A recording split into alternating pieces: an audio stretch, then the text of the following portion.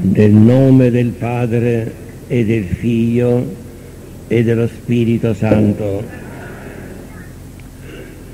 Celebriamo oggi la festa di Sant'Ireneo, martire, padre della Chiesa, grande teologo dell'antichità, il primo che elabora una dottrina sistematica in base alla rivelazione. È un grande padre, un insigne teologo, siamo al secondo secolo, un grande martire, ma soprattutto è un operatore di pace per il prestigio che egli godeva in Oriente e in Occidente. Il suo nome Ireneo significa pace fu pacificatore nel nome e nei fatti.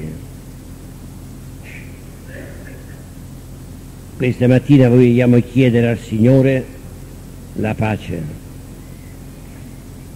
ma la pace biblica, la pace evangelica non è la pace degli uomini, Ci sono tante forme di pace. La pace è un dono di Dio. Il termine shalom ebraico non può essere tradotto in nessuna lingua. Tanto è la pienezza del senso, è il benessere, la prosperità, è il il culmine di tutti i beni materiali e spirituali. Questo è Shalom. E così anche il termine greco Irene e il termine latino Pax, pace, sono termini che non rendono pienamente il senso originale, però si avvicinano al senso originale ed è quel benessere interiore ed esteriore nella buona relazione con Dio, con se stesso e con gli altri. Noi chiediamo questa mattina al Signore il dono della pace, la pace che è turbata unicamente dal peccato. Il grande nemico della pace è il peccato. Dove c'è peccato ivi non c'è più pace, perché il peccato rompe le relazioni con Dio, con se stesso e con gli altri.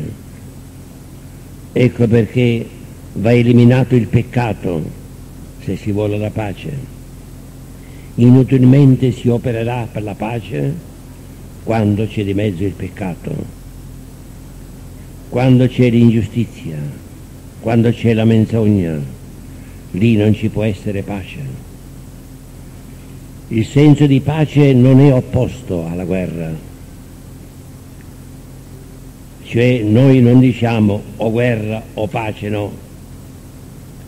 C'è un bellissimo testo della scrittura quando Davide chiama Uria e domanda come va la guerra, le sorti della guerra la domanda è questa, come va la pace della guerra?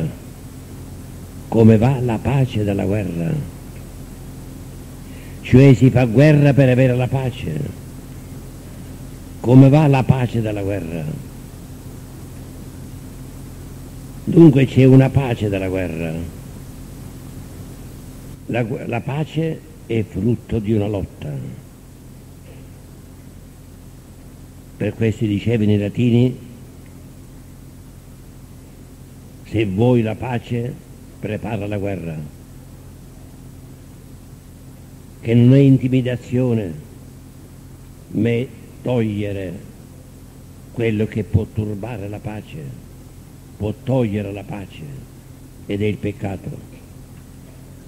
In qualunque forma esso si manifesta, il grande nemico della pace è il peccato non è la guerra. anzi bisogna lottare per la pace togliendo il peccato in mezzo a noi. Ed è il Messia che ci porta alla pace, il Re della pace, anzi egli stesso si identifica per pace e lui sarà la pace. Egli che fa pace tra i vicini e i lontani, che fa pace tra cielo e terra, è lui che è al centro della pace. Accettare Gesù in tutte le sue dimensioni, questo è fare la pace, rifiutare Gesù e rifiutare la pace. Ecco perché il mondo oggi, anche sotto il velo del benessere, sotto il velo così della solidarietà, non ha la pace, perché non ha Cristo che è la pace, perché non ci può essere pace con il peccato Adesso chiediamo al Signore la eliminazione del peccato per disporci alla pace, la eliminazione del peccato contro la verità, contro la giustizia, l'eliminazione del peccato contro l'amore, contro la carità, contro l'impietà. Tutte le forme di peccato scuotono la pace e allora chiediamo al Signore la pace per noi la purificazione del peccato individuale, del peccato familiare, del peccato sociale, perché tutti siamo correi di peccato, o del peccato personale, o del peccato familiare, o del peccato sociale a tutti i livelli. Chiediamo al Re della pace di entrare in mezzo a noi, di debellare il peccato ed entrerà la pace tridimensionale dentro i nostri cuori, nelle nostre famiglie, nei nostri gruppi, pace con Dio, pace tra, tra di noi, pace dentro di noi. Sì, o oh Padre del cielo, ti chiediamo la pace, tu ci dai il dono della pace, ma il dono della pace tu lo dai quando viene tolto il peccato. Toglieci il peccato, Padre del cielo Invochiamo per questo il tuo Santo Spirito, perché ci purifichi da ogni peccato e ci disponga alla pace che scende da te. Spirito.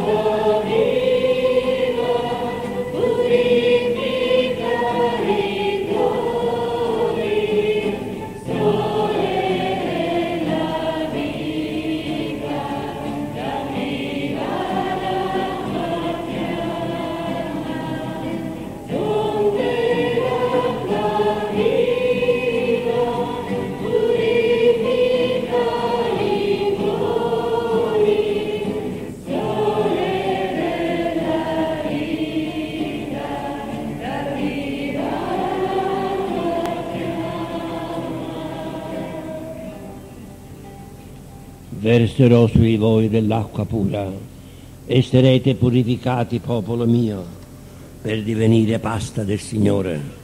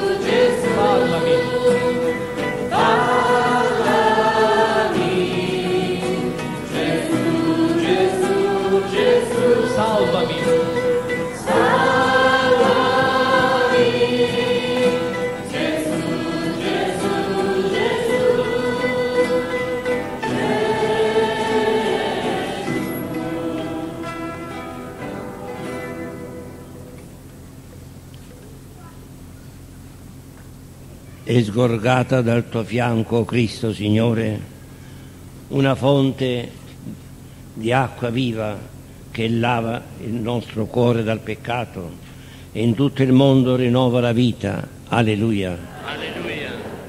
O Padre che dell'agnello immolato sulla croce fai scaturire la sorgente dell'acqua viva. Purifica il tuo popolo, Signore. O Cristo che rinnovi la giovinezza della Chiesa nel lavacro dell'acqua con la parola della vita. Purifica il tuo popolo, Signore. O Spirito che delle acque del battesimo ci fai riemergere come primizie dell'umanità nuova. Purifica il tuo popolo, Signore. O Dio che raduni la tua Chiesa, sposa e corpo del Signore, nel giorno memoriale della risurrezione, benedici il tuo popolo e ravviva in noi, per mezzo di quest'acqua, il gioioso ricordo del santo battesimo, per Cristo nostro Signore. Amen.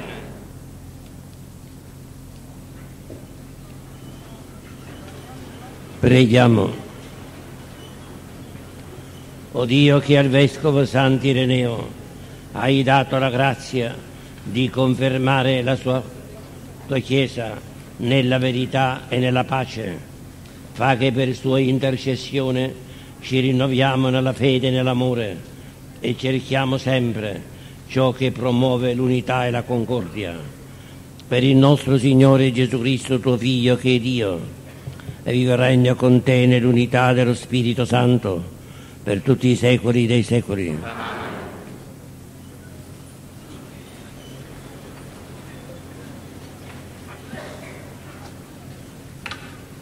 Dalla seconda lettera di San Paolo Apostolo a Timoteo.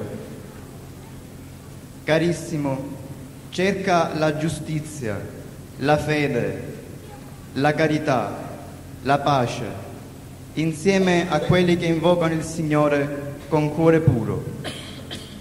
Evita inoltre quelle discussioni sciocche, non educative, sapendo che generano contese.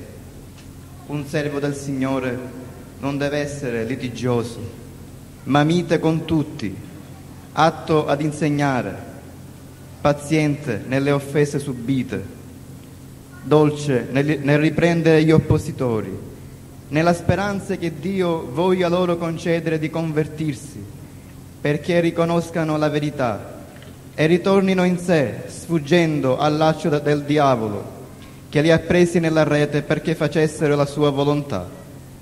Parola di Dio.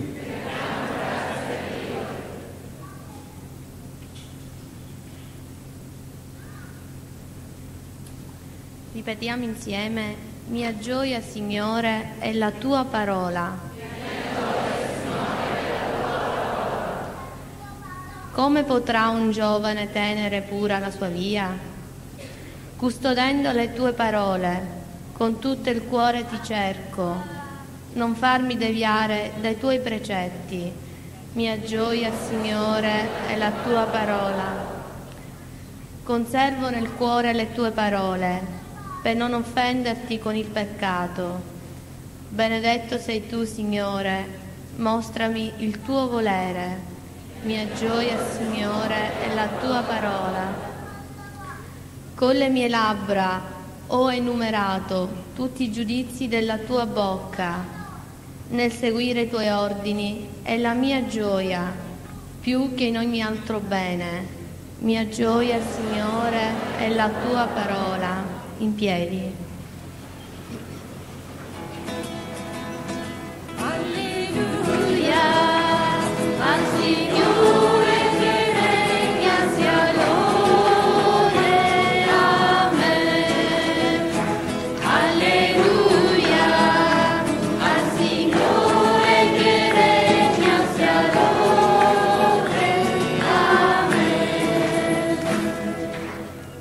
Rimanete in me e io in voi, dice il Signore. Chi rimane in me porta molto frutto. Alleluia,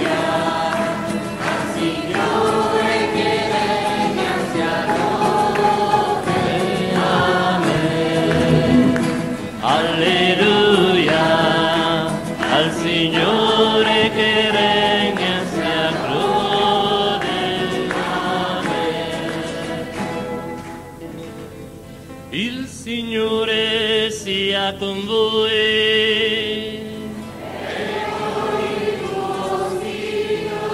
Dal Vangelo secondo Giovanni.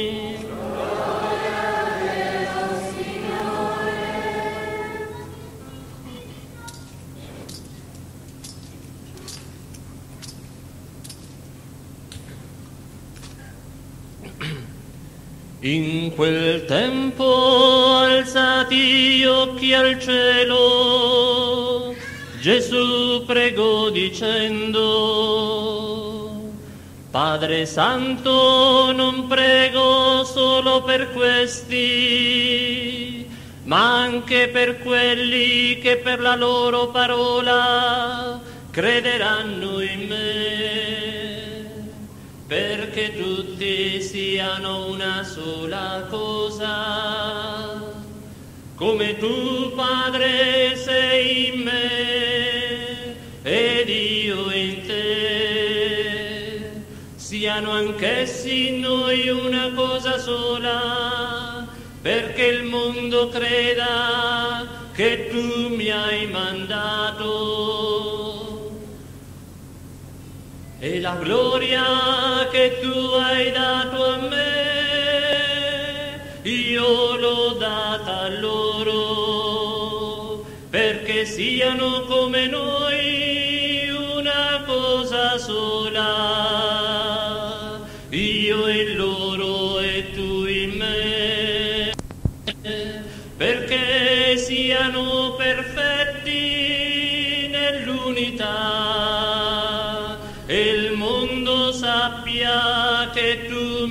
mandato e li hai amati come hai amato me. Padre, voglio che anche quelli che mi hai dato siano con me dove sono io, perché contemplino la mia gloria, quella che mi hai dato, poiché tu mi hai amato prima della creazione del mondo. Padre giusto, il mondo non ti ha conosciuto, ma io ti ho conosciuto.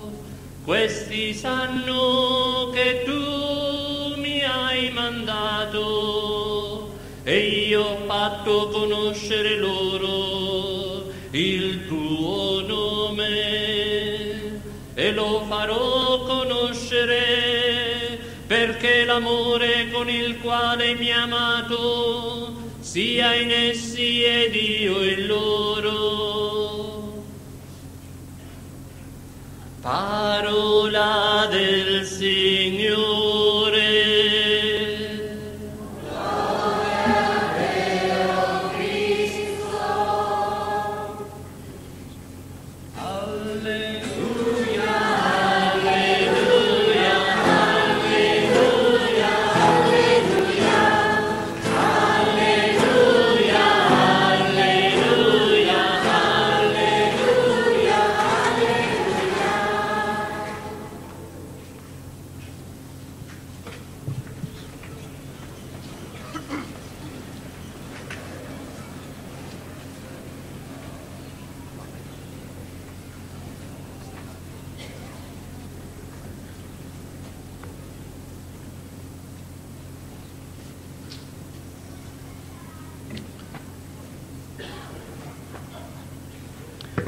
Sant'Ireneo, vescovo di Lione, in Francia, ma vissuto in Oriente, è un orientale.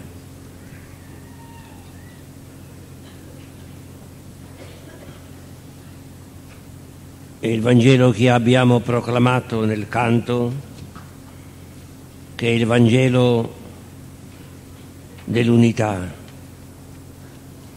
riflette bene l'opera indefessa che perseguì per tutta la sua vita Ireneo, conciliando Oriente ed Occidente, nei momenti più cruciali in cui il Papa aveva una questione grave, la questione pasquale con l'Oriente,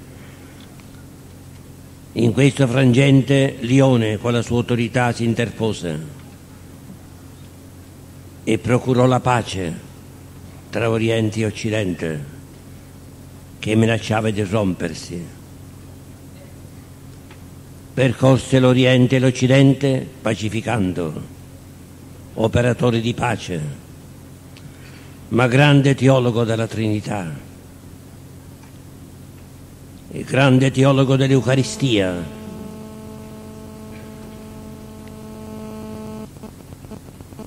Perché quello che egli ci dice riflette il rito eucaristico tuttora vigente. Un grande padre a cui attinsero tutti i padri della Chiesa che vennero dopo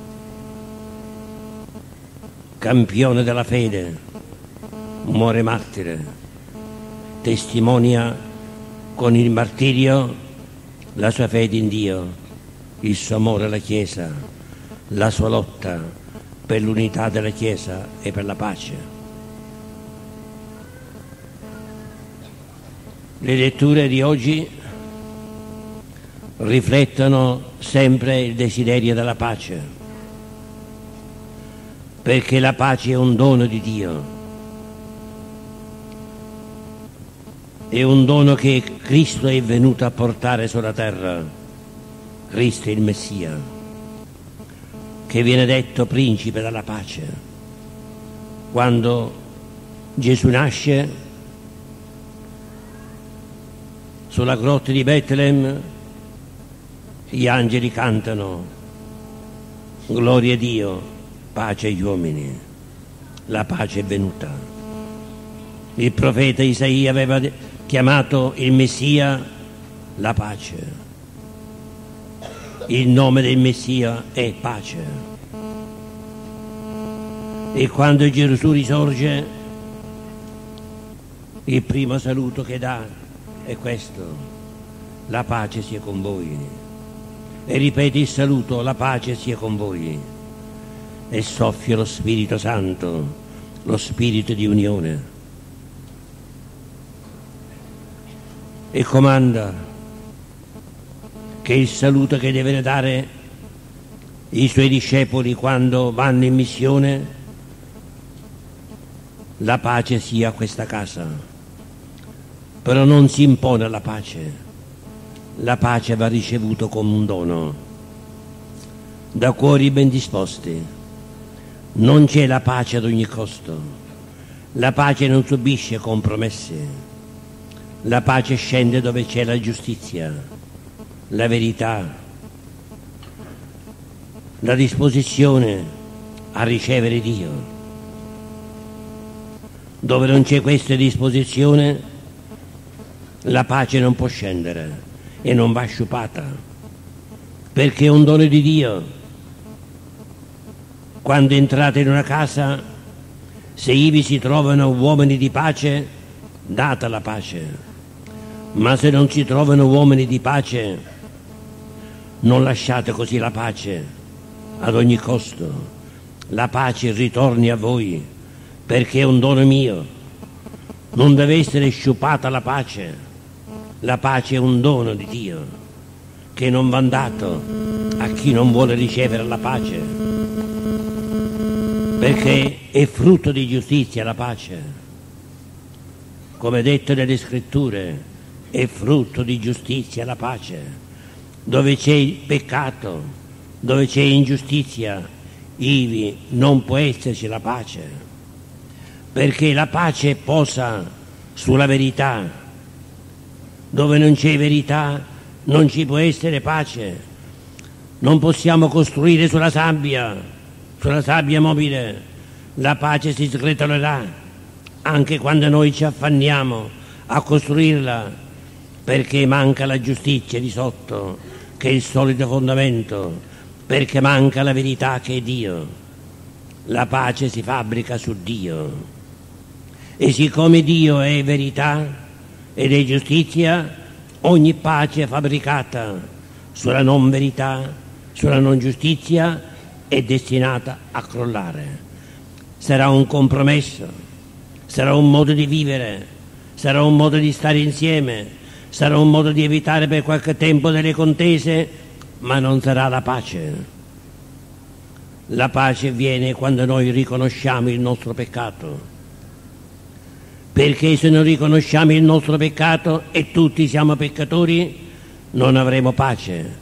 Ci possiamo illudere di avere la pace, ma non l'avremo. Ci crediamo di essere vicini a Dio, ma non siamo vicini a Dio. Crediamo che i nostri progetti, i nostri pensieri siano vicini a quelli di Dio, ma sono diametralmente opposti, lontani. In una riunione recente il Signore ci diceva quanto dista il cielo dalla terra, così distano i miei pensieri dei vostri pensieri. Quanto dista l'Oriente dall'Occidente, voi che mi ascoltate. Così distano i miei progetti dei vostri progetti. Ed io so quali sono i vostri pensieri, sono iniqui. Io so quali sono i vostri progetti, sono cattivi. Queste cose diceva il Signore, alludendo a noi. Io so quali sono i vostri pensieri, sono iniqui. So quali sono i vostri progetti che tramate, sono cattivi. Le mie vie sono diverse dalle vostre vie. I miei progetti sono completamente diversi dai vostri. Voi siete lontani da me, non mi capite.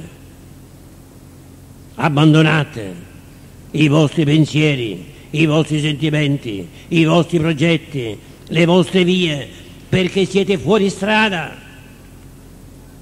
E ritornati a me, debellando il peccato che è in mezzo a voi, perché sul peccato non può essere fabbricata la pace, sul peccato non può essere fabbricata la giustizia, ed io voglio la giustizia, non può essere fabbricata la verità, ed io voglio la verità, non può essere fabbricato l'amore, ed io voglio l'amore.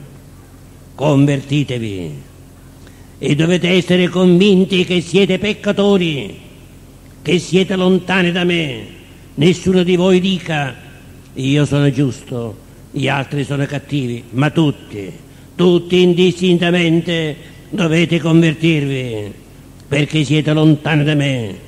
I vostri pensieri sono cattivi, le vostre intenzioni sono cattive. Io scruto la mente e i cuori e so quelle che dico. Queste cose diceva il Signore e diceva la verità. Fratelli e sorelle, non possiamo scherzare con Dio.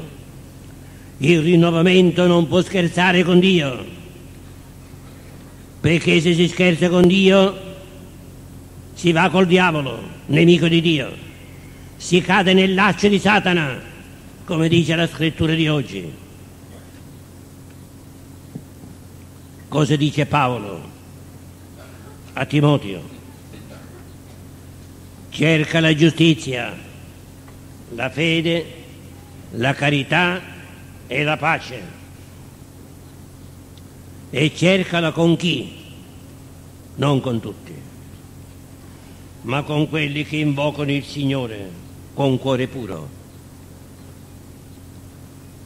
La giustizia, la carità e la pace va cercata con quelli che hanno il cuore puro, con quelli che hanno il cuore mondo dal peccato, dove c'è il peccato, dove c'è la menzogna, dove c'è la vendetta, dove c'è l'astia, dove c'è il grande peccato dell'invidia, che è il peccato diabolico, ivi non ci può essere né verità, né fede, né carità, né giustizia, né pace.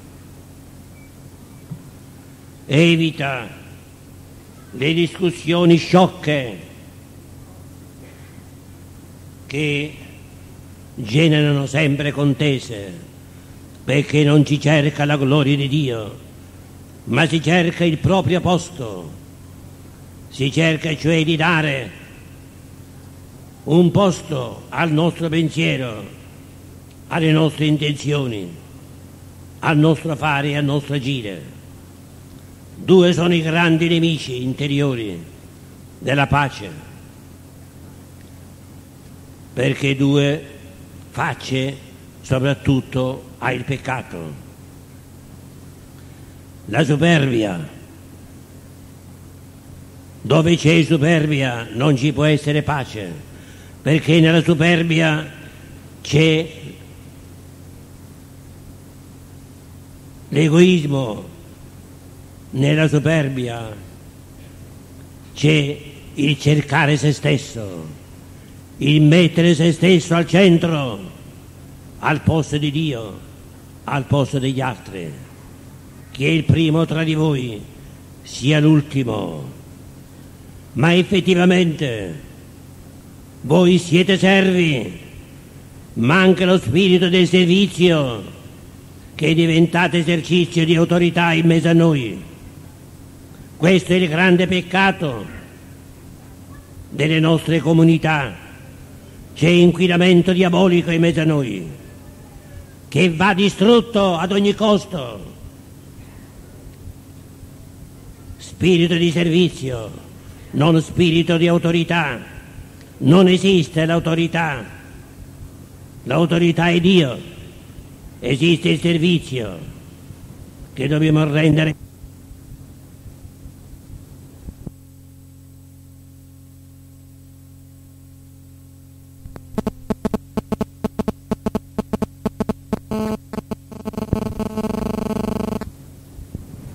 È un servizio salato,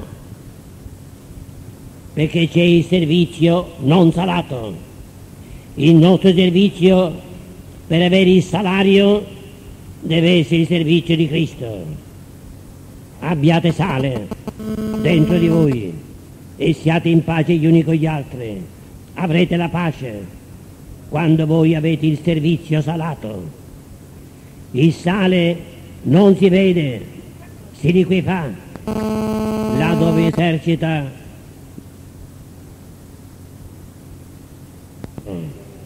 Quando voi mettete il sale nella pasta, nelle pietanze, non troverete più il sale, ma troverete condita la pasta, ma il sale non esiste.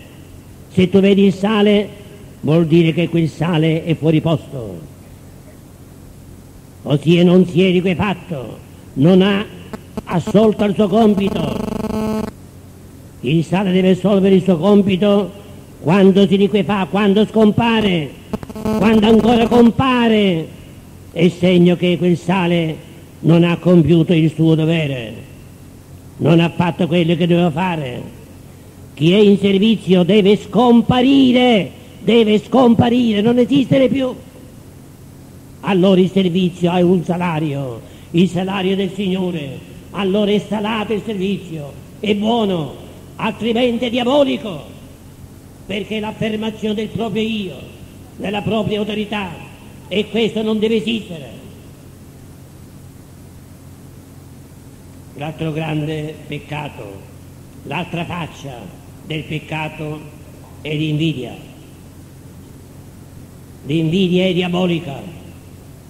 Il diavolo è l'invidia di Dio perché lui là so- sopra e io qua sotto di lui, voglio essere come lui, ascenderò sul trono dell'Altissimo, l'invidia della gloria di Dio. perché deve essere lui a stabilire il bene e il male. Voglio essere io, l'invidia di Dio. E questa invidia che la bava, il serpente, la inoculò in Eva e in Adamo. Direte invidiosi di Dio, perché deve essere Dio soltanto ad essere arbitro del bene e del male. Siate come Lui. Ecco il grande peccato, quando il mostro del serpente tocca qualcuno e la sua bava, che viene inoculata come veleno mortifero e nell'invidia si commettono tutte le iniquità, si rovina la relazione tra uomo e uomo, tra uomo e donna, nelle famiglie, nella società, nei gruppi, nella chiesa. L'invidia è la grande bava del diavolo. Guai quando l'invidia entra in mezzo a noi. Può fare di tutto perché è veleno. Per l'invidia del diavolo dice la scrittura, il peccato è entrato in questo mondo. E quando noi diamo luogo all'invidia e la diamo, il peccato entra in mezzo a noi e il diavolo che balla. Siamo entrati nel laccio di Satana, come dice qui la scrittura. E allora il Signore voglia concedere la conversione perché riconosciamo la verità e ritorniamo a Lui sfuggendo al laccio di Satana che li ha presi nella, se- nella rete perché facessero la sua volontà. Nell'invidia facciamo la volontà del diavolo, siamo figli del diavolo e figli del diavolo ce ne sono tanti che coabitano con i figli di Dio e bisogna curare perché altrimenti non avremo la pace. La pace si ha soltanto con gli uomini che riconoscono Dio, che amano la verità, amano la carità, amano Dio, amano gli uomini. Fratelli e sorelle, la pace è frutto di una lotta. Bisogna lottare contro di noi, contro l'egoismo, bisogna lottare contro l'invidia, bisogna lottare contro la menzogna per avere la pace. Chi non è disposto a lottare contro l'egoismo, chi non è disposto a lottare contro l'invidia, chi non è disposto a lottare contro la menzogna, costui non può avere la pace, non è operatore di pace e non può stare nel regno di Dio. Eliminiamo ciò che è malvagio in mezzo a noi e avremo la pace, frutto della giustizia e la pace. La pace e la giustizia si sono baciate e la giustizia è in questo, che Dio deve essere al centro, noi tutti i suoi piedi. La giustizia è questa che tutti siamo fratelli e nessuno è superiore all'altro. La giustizia è questa che tutti ci mettiamo in ginocchio, ci riconosciamo figli di Dio, ci amiamo gli uni gli altri. La giustizia è questa che nessuno cerchi se stesso, ma il bene dell'altro, perché questo è l'amore. La giustizia è che riconosciamo Dio in mezzo a noi. Alleluia.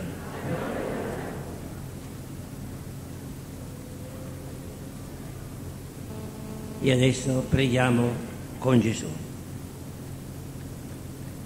Nel Vangelo, o Signore Gesù, noi abbiamo letto la preghiera sacerdotale, la preghiera universale, la preghiera accurata che tu facesti al Padre per l'unità.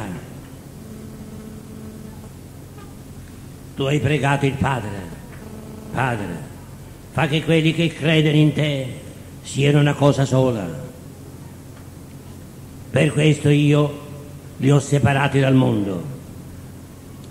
Purtroppo sono nel mondo, ma non debbono essere nel mondo, perché il mondo è dominato dal maligno e tutto ciò che è nel mondo è concupiscenza degli occhi, concupiscenza della carne, superbia della vita. Essi sono nel mondo, ma non sono del mondo. Padre, conservele nella verità. Per questo io mi offro a te, perché siano conservati nella verità e rendere stretti gli uni agli altri una cosa sola. Come tu con me sei una cosa sola, così anch'essi con noi e tra di loro siano una cosa sola. Signore Gesù, questa tua preghiera si adempirà alla fine dei tempi, ma vuoi tu che noi siamo in tensione continua verso l'unità. Concedici, oh Signore Gesù, di accettare te, che sei verità e amore, che sei pace in mezzo a noi. Concedi a noi di lottare insieme per camminare verso l'unità che avremo soltanto in cielo, ma che noi possiamo in certa maniera raggiungere attraverso il tuo corpo e il tuo sangue, mangiando all'unico pane, bevendo all'unico calice, noi possiamo entrare nel vortice dell'unità. O Signore Gesù, che sei uno in tutti, come il tuo Padre è uno in tutti, concedi che mangiando il tuo corpo e bevendo il tuo sangue, concedi che vivendo l'Eucaristia noi possiamo diventare una cosa sola con te, una cosa sola con gli altri, di avere finalmente la pace dentro i nostri cuori. Amen.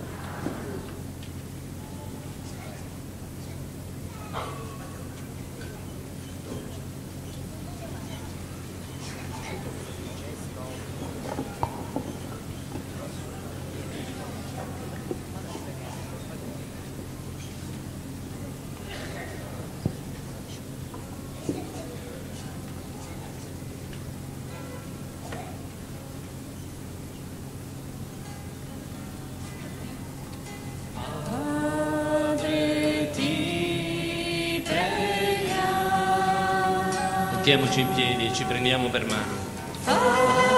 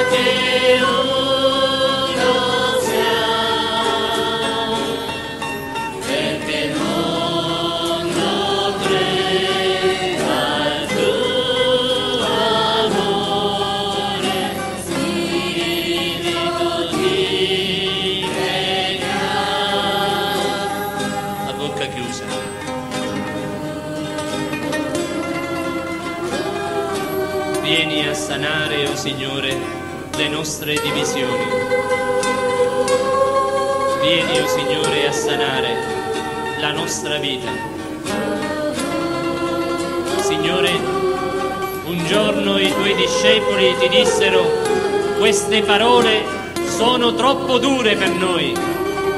E chiunque quest'oggi ha pensato questo, o Signore, di mezzo a noi, non è degno di stare qui. Ma queste parole sono per ognuno di noi, Signore. E dice molti dei suoi discepoli si tirarono indietro perché le parole di Gesù erano troppo dure.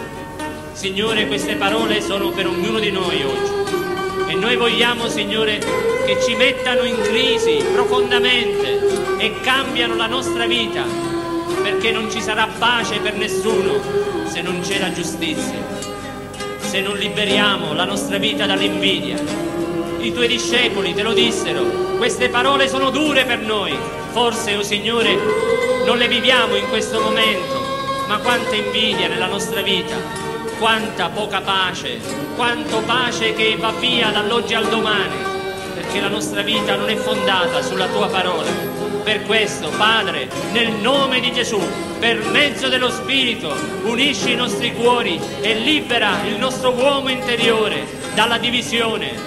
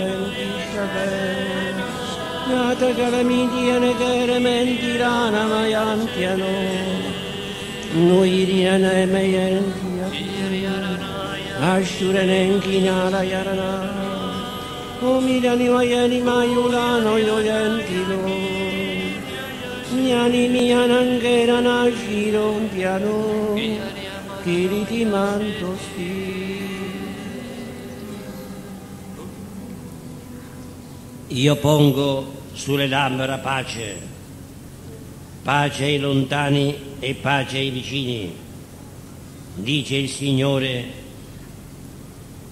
ed io li guarirò. Gli empi sono come un mare agitato che non può calmarsi e le cui acque portano sempre melma e fango. Non v'è pace per gli empi, dice il vostro Dio. Signore, la pace è per tutti, per i vicini e per i lontani. Soltanto gli empi non avranno pace. Essi si muovono e portano sempre su melme e fango per infangare i fratelli, per creare la melma nella società o Signore Dio della pace, ti chiediamo che la tua pace regni, dè bella a tutti quelli che vogliono la guerra e metti la pace nei tuoi confini, o Re della pace. Noi siamo i figli della pace, tu hai portato la pace, come detto agli Efesini. Egli è venuto perciò ad annunziare la pace a voi che eravate lontani a voi e a quelli che erano vicini.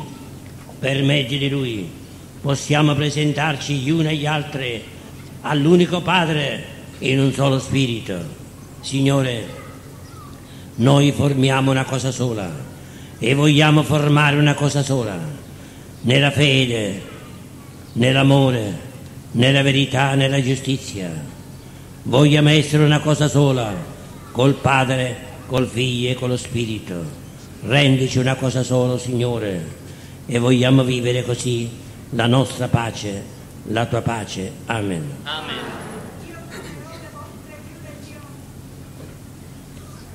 Signore, ogni mancanza di pace ha alle spalle una ribellione. E adesso, Signore, ti preghiamo per tutti i nostri fratelli, per quelli che a causa di malattie, di disordini, di peccati, hanno perduto la pace.